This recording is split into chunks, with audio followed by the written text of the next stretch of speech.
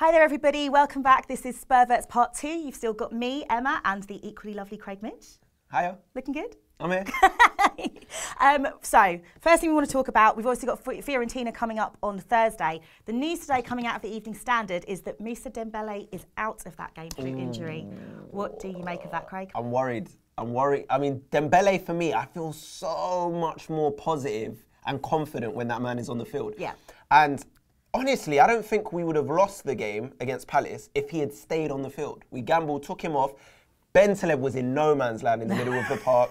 They were sitting back trying to counter on us, and I just felt like there was a big gap in the middle of the park where Dembele kind of shores it up, ball carries it forward. Well, I was about to say, driving forward is such a big strength of his now. It's weird to think of him as being injured though, because he's like this man mountain on the field. Like Yeah. nobody can touch him. People just ping off him, and he just So agile no one can take the ball off him. I don't like the idea of him, like you know, being kind of sat down and not able to move around very much. But, but the thing is, with Dembele as well, he's always been this player that picks up knocks and injuries throughout the season. Yeah. He's never been a player that kind of always stay fit for a whole season.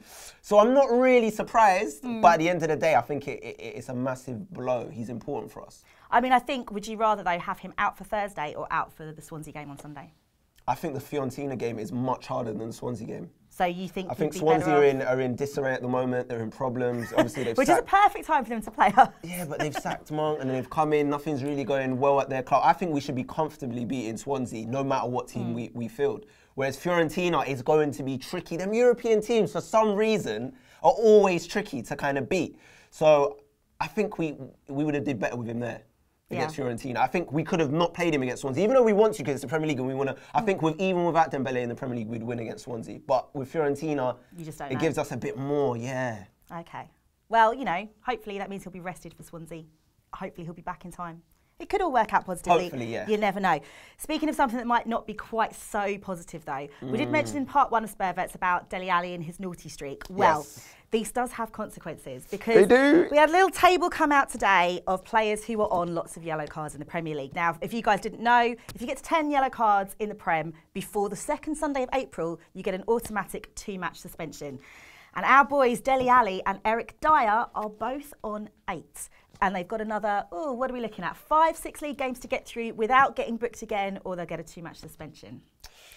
I mean, it's it's worrying. I mean, for I Dele Alli, really worrying. for Dele Alli, I think it's worrying because he's not a defensive midfielder. So the fact that he's got that amount of yellow cards is coming down to silliness. Yeah. Whereas Eric Dier is always going to be in a position where he has to make those challenges. He's there to break up the play. Yeah. He's there to act like a, a, a third centre half in, in some respects. And he has to take one for the team sometimes. If they catch us on the break, I've seen him do it. You've got to drag someone to the floor and take one for the team. So there's no surprise he's on those yellow cards. Mm. Alli, though, it's worrying. I mean, I don't know if I don't. I think Alli can get through it. I think he can. yeah, I mean, here's a question for But will you. it affect his game? Here's a question for you. Here's Yeah. a question for everybody out there. Who would be a bigger miss? Dele Alli, Eric Dier, for two game suspension.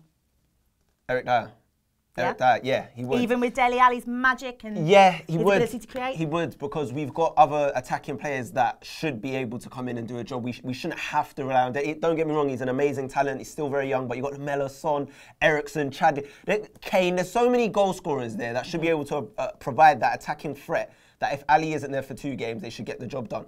Whereas Dier is, I can't trust Bentaleb. I'm sorry, I can't trust him with that defensive midfield role but at this point in time. but you could put Mason in there.